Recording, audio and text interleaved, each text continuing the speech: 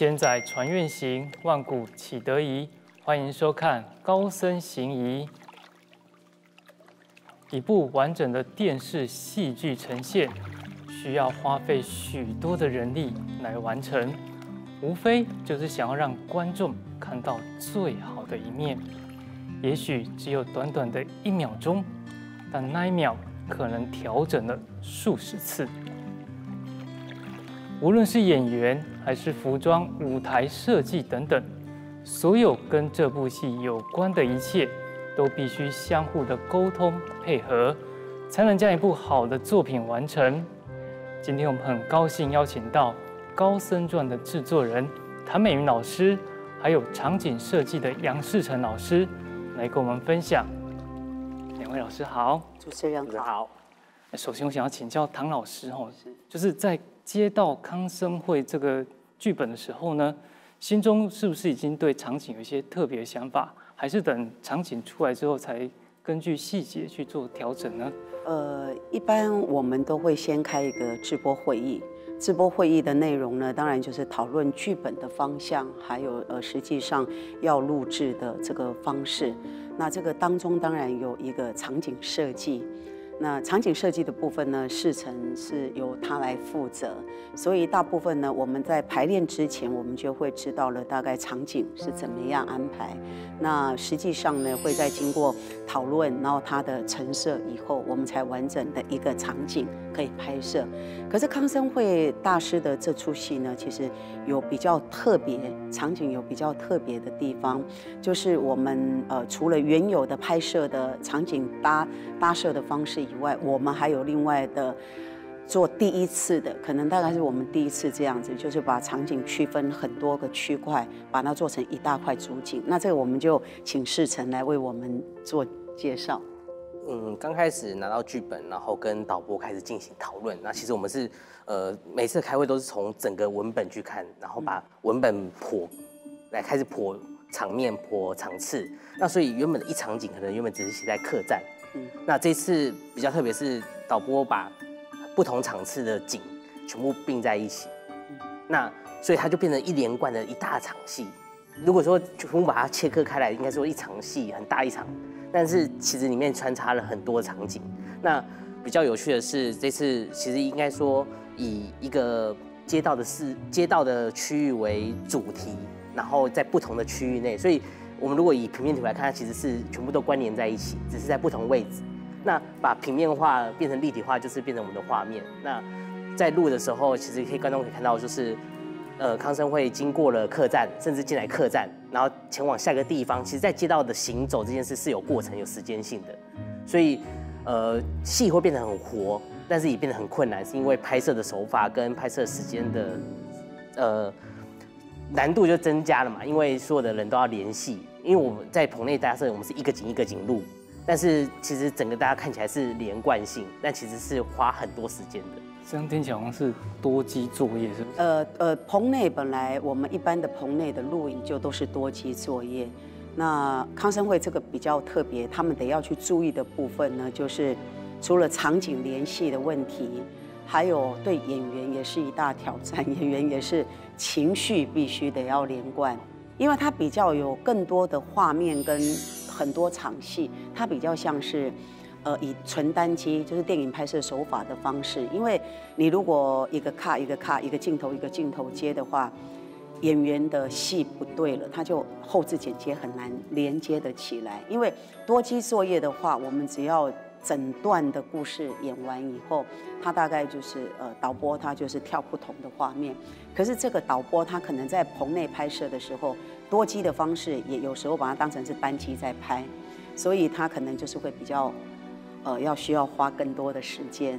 那还有就是呃技术组跟演员组也必须得要更专注更用心，因为这个联系问题，可能你走过客栈的门口。手上像我有一场戏是被绑的，被官兵抓我，然后绑的要离开的时候，我只有一个转角出去，我就跳另外一个井了。可是画面看起来观众是知道的，就是从我住的地方，我的疗房，然后经过客栈门口，再经过茶棚，它的动线就是这样。可是问题是，身上的这个穿着，还有手上被绑，还有戏的情绪的连贯，我必须得要这样子一路连续的演下去，要不然的话，看起来画面这个戏看起来就像是被切一块一块的，就是会觉得好像是拼接上去的，就是剪接过的，就会觉得他的戏是不流畅。所以呃，这种拍摄方式呢，第一个对于这个舞美，对于呃这个搭景的人而言呢，其实。很大的考验就是发挥他的想象空间。那当然，我们前面有提到这个一开始这个剧本的时候，我们开直播就经过，呃，我们团队还有高升传的制作团队，那跟我们台内哦，就是呃一起来讨论什么方式这出戏我们的重点摆在哪里，场景应该怎么设计。那当然可能时间多花一点，可是我们觉得。拍摄过程看到片子，我们觉得是很特别，而且是可以让观众有耳目一新的感觉。刚刚老师提到一个用电影拍摄的手法，对对，这个在歌仔戏也很罕见哦。哎，对，就是呃，可能多机作业是一样是这样，我们也有可能是拍完以后，我们就只留单机，就只留一部机器，就是单补很多画面。那多机作业其实是大部分，我们只要拍完这个场景，就大概整场戏顺完就可以了。那后面其实又多加出来的部分的单机、纯单机来补画面，然后甚至于是来拍后半段的戏，这都都有这种情况。对，那这个可能是观众朋友在看戏的时候。应该是唔知啊，因为伫咧过程设计过程当中，导播因拢有安排好啊，应该用什么方式运镜，然后怎么样后置剪接，可以让戏流畅性。对，这个观众看到戏就会知道。观众朋友们，你又看麦啊？到底是多一个场景是亲像我即马讲的安尼？你两个看戏的时阵又看麦啊？嘿，对。真正这个美甲老师也无讲吼，可能阮真正看袂出来。看袂出来吼。观众朋友来试来看。对对对，啊，其实看袂出来是对的，因为我们这样子的设计，就是希望让观众朋友有那种一气呵成的感觉。那更重要的就是前面刚开始铺陈的话，我都开玩笑跟世成讲说，这个场景啊，三个场景划分为一，都刚才像伊伫咧为地的起厝共款。你这边是大安区。边仔是什么区？啊，你这个区拢共伫这个所在，但是你的厝要甲起做伙，所以你这个行啊，甲倒位要挖过，你都必须得要去注意。它是有这个有这个建筑的，就叫棚内建筑，就在棚内，就是真的把那个路、把马路开拓出来，然后把房子盖出来。那客栈呢，也不是只有在里面可以坐着听故事的客栈，连门卡靠行过所在嘛有。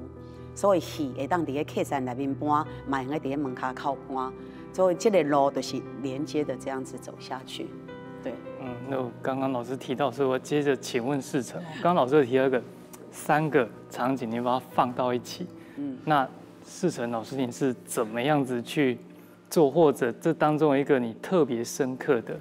其实特别深刻是在客栈这一场，因为其实客栈是把整个摄影棚破为一半。一半是客栈内，一半是客栈外的街道。那街道其实往前走，转角就是茶棚。所以我们录茶棚的时候，是客栈已经录完，再去录茶棚。那茶棚再往前走一点，再右转，可能就是康盛会的家的产产房。所以其实当时先跟导播确认完这样的手法之后，我们再去界定说哪个路口要左转。所以。演员的进与出其实是有一定的连带关系，他从这边出去，他等下从另外一边进来，这是，所以这观众在看的时候才不会说，哎，他不是刚才走往那边走，他怎么又来到了这个地方？对，因为戏是连的，那其实这个拍法其实会让整出戏有更多的生活感，会比较真实，而不会是切断的。对，那客栈有趣是因为在客栈里面，我有演一个客栈的老板，所以我也在那边看戏。所以当康社会走过的时候，其实我也看着他经过这个街道，到了下一个地方。嗯，那有有一场是老师只是从街道走过，那后面跟了一群的百姓，因为康社会被被被压压走了。嗯，那其实百姓是跟着后面看热闹。嗯，所以当老师先经过客栈的时候，我们客栈里面是往外看，看老师被压过。那到下一场的时候是。老师从茶棚经过的时候，后面那群人是又连着过来。但是其实，在拍摄的时候，其实这三场是不同天拍的，所以演员其实真正真的考考验在演员上，因为演员要连戏、连情绪、连妆、连发。对，我这听起来很考验演员，但是整个是很生活化场景，生活化，对对对。就刚刚老师两位老师你们说的，他整个几乎完整把整个现实场景搬上来。对对对，就是你会觉得在这个戏里面你看到的，都刚才是咱生活中的一部分。而不是像戏搭起来那种景的感觉，哎对对对是一种很很贴近生活的。对对，没。错，就是你对厝的出门完了，你伫路可能会拄到熟悉的人吼，啊，你就会拍招呼，拍招呼完了，你安尼小倒手说挖一个，挖一个行过这个门卡口，你就搁拄到你的地主，大家拍招呼，出去完了，搁直直行，我正手边遐就是茶棚，就喺坐倒来啉茶，就是非常生活化，对对对。哇，这个看来是非常用心，但如果两位老师不讲，我们也不知道这么多后面的故事呢。哦，非常感恩两位老师的分享，感恩、哦。感恩。嗯，可见一部戏剧的完成哦，背后是多少的心血哦。刚刚两位老师就说了，为了这个场景，他们是煞费苦心。所以刚刚唐老师有说，观众朋友们，你们可以看看哪个场景是他的学问所在呢？感恩您收看今天的高僧行仪，接下来请继续收看《高僧传》，康僧会大师。